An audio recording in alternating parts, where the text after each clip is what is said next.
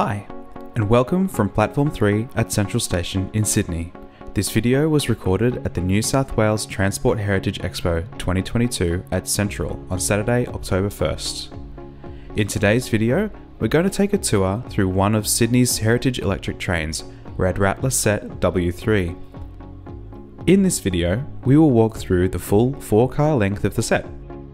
Historic Electric Traction, or HET for short, is undertaking the restoration and recommissioning of this train for historical tours and special events. The driver's cab was open for anyone to sit in the driver's seat, which is truly special. Here's some footage I took of the driver's seat later when it was less busy.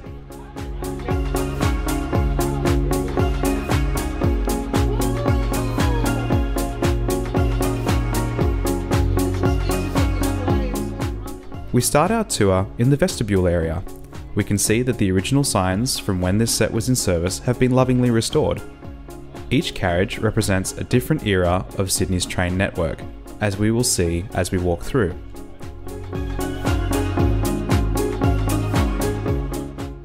As we enter the first seated area of this single deck carriage, have a look at how high the roof is and how spacious the carriage feels compared to the comparatively cramped quarters of Sydney's modern double deck trains, and even the carriages we'll see in a moment. This carriage has been restored to the condition it would have been in during its final years of service between 1980 and 1993. These seats are all leather and have New South Wales TD stamped into them. Around the train are signs that tell the story of the car's history. You can pause the video to read these if you're interested. As we enter the second vestibule, we can see the first class carriages belonging to a well-known steam engine we will see later. This carriage we are entering now is a Tulloch built double deck carriage representing the Public Transport Commission era from 1972 to 1980. It's painted in a striking blue and white livery, which was affectionately referred to as Shirley Blue after the PTC's first commissioner, Philip Shirley. This livery was gradually applied throughout the rolling stock on the Sydney electrified network. However, it was done so fairly haphazardly, resulting in sets often sporting a patchwork of different liveries.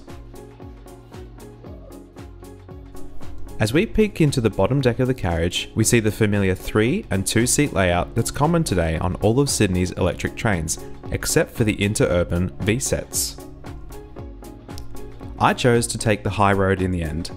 Take a look at this interesting seating layout at the far end of the carriage, with two seats facing each other across the stairwell. This clearly didn't last, as it is not seen on Sydney's current fleet, possibly due to the stairwell being quite narrow, which only allows the stairs to be used in one direction at a time. When the Tangaras were introduced, both Goninan and ComEng's designers spent a lot of time perfecting the stairwell design in order to speed up the disembarkation and reduce dwell times at platforms. This footage here is from an experiment that was carried out by ComEng in the 1980s.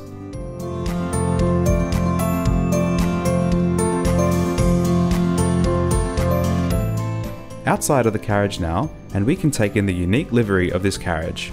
I wonder why they don't paint trains like this anymore.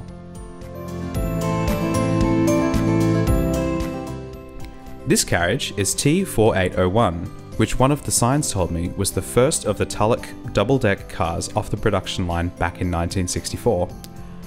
Note the vents just above the windows are set much wider apart than the ones on the previous carriage, which is just one of the changes made to the design of these carriages during production.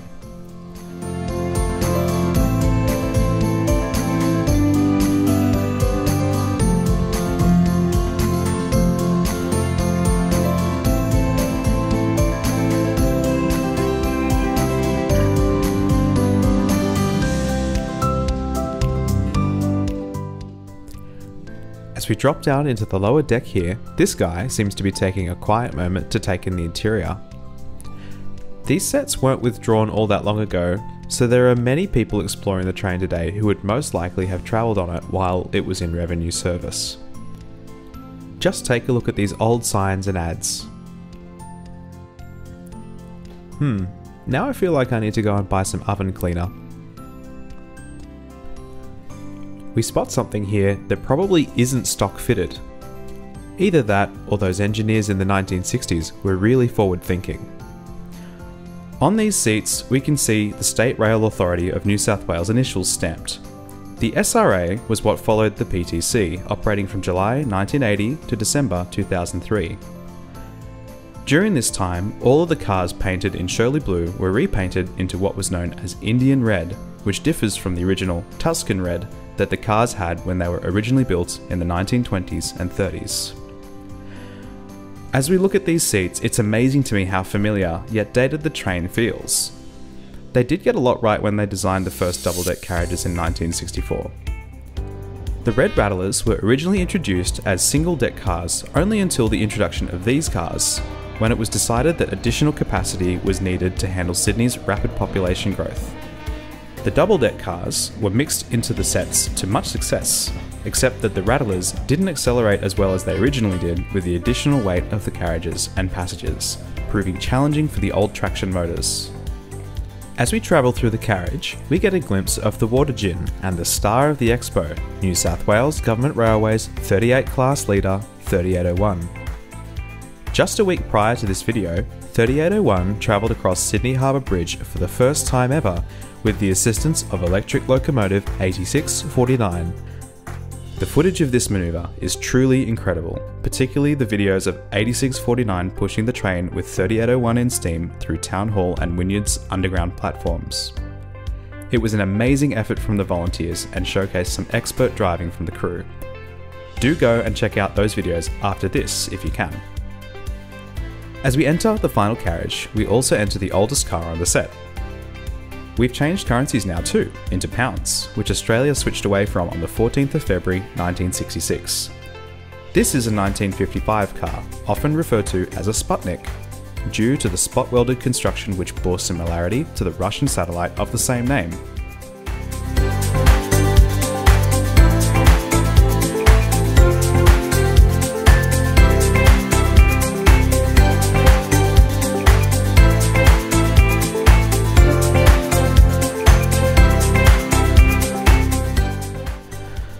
A volunteer told me that the set in its current state could not move under its own power as of yet, and it was shunted into Central by a locomotive from the XPT depot. In the days after this video was taken, the set was coupled to ComEng set K76 for its return to Flemington. In videos of this unusual manoeuvre, car 3708 can be heard protesting the move due to having a very flat wheel, which limited the train's speed considerably. No doubt the folks at HET plan to sort this out before the set will run under its own power.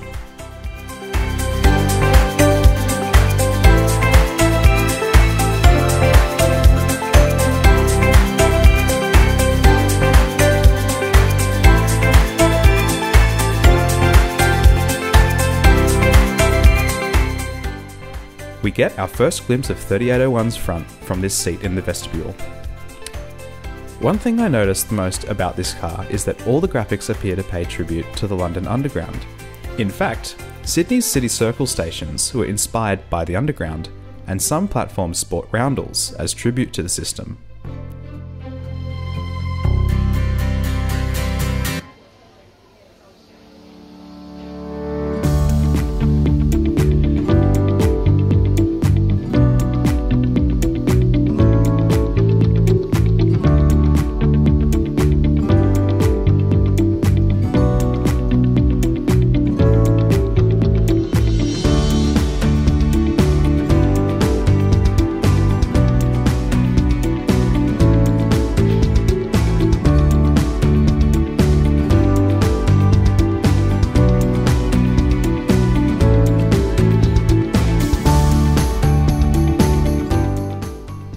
Thought I'd have a go at opening the window, but that's a no-go.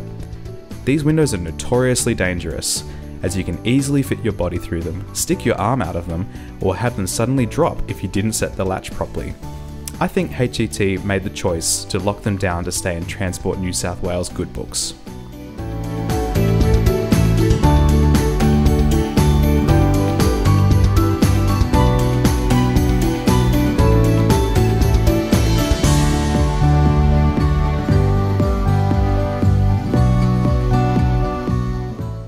We are now coming to the end of the walkthrough. and we can clearly hear 3801 simmering along as it waits for its turn to leave.